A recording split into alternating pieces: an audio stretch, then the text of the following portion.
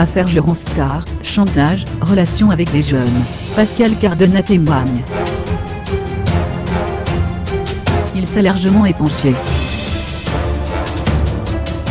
Très discret depuis le début de l'affaire Jérôme Star, Pascal Cardona a une nouvelle fois brisé le silence, afin de livrer sa version des faits. Après France 7 c'est auprès de nos confrères de Libération, que l'employé de France Bleu, âgé d'une cinquantaine d'années, a souhaité s'exprimer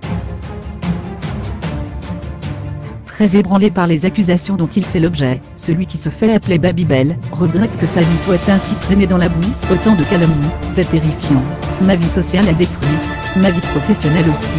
Pour ne rien arranger, sa santé n'est pas au beau fixe, je souffre de trois pathologies graves, j'ai une invalidité de 80%, je suis en arrêt maladie jusqu'au 28 février. Je n'en veux pas à Jérôme Star visé par une plainte pour viol aggravé sur mineur, corruption sur mineur, atteinte sexuelle sur mineur, recours à la prostitution de mineurs, le tout sous aggravation de faits commis en bande organisée par un et pour corruption de mineurs et abus de faiblesse par Jason. Pascal Cardenas a innocent, et a assuré que les deux jeunes hommes souhaitent faire du buzz. Le 17 janvier, Anwar m'a envoyé un mail pour me proposer son aide. On est vraiment dans le chantage. Il ne s'est rien passé entre lui et moi, le jour où il m'accuse de ce viol, j'étais dans un hôtel à Argelès et j'en ai la preuve.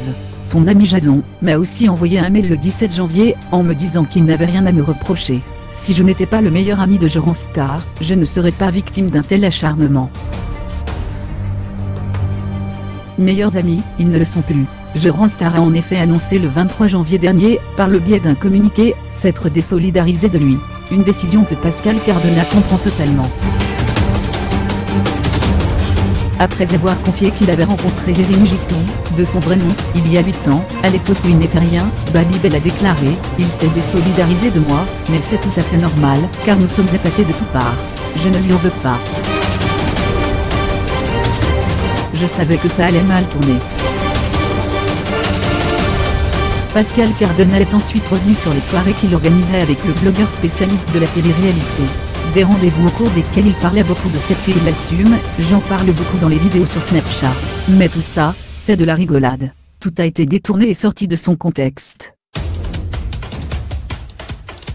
Il a aussi admis avoir eu des relations sexuelles lors de ses fêtes, mais toujours avec des jeunes hommes majeurs. Depuis que j'ai 20 ans, je ne fréquente que des jeunes. Des garçons, mais aussi des filles.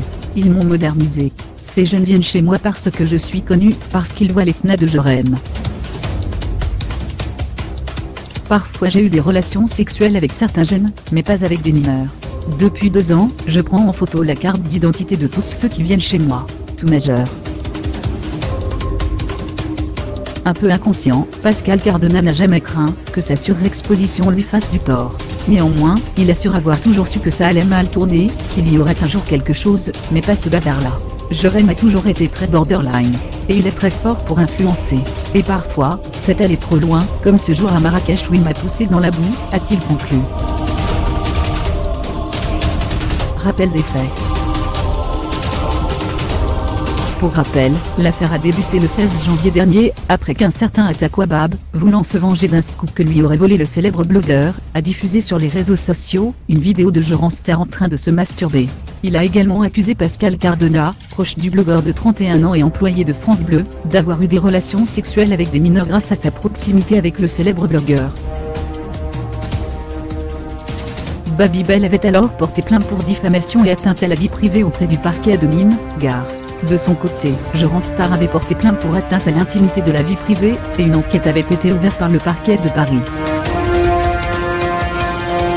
Quelques jours plus tard, Jason et Anwar déposaient plainte. Le second a aussi visé Jean Star pour corruption, agression sexuelle sur mineurs et recours à la prostitution. L'animateur a alors répliqué en portant plainte pour dénonciation calomnieuse et diffamation. Ce vendredi 2 février 2018, nos confrères de Closé ont dévoilé qu'une enquête préliminaire avait été ouverte à Nîmes, où vit Pascal Cardona, depuis le dépôt de quatre plaintes réciproques. Jean Star, l'employé de France Bleu et deux victimes présumées, vont être entendues par les forces de l'ordre. Concernant le blogueur spécialiste de la télé-réalité, elles vont tenter de déterminer s'il était bel et bien complice de son ancienne amie Babybel.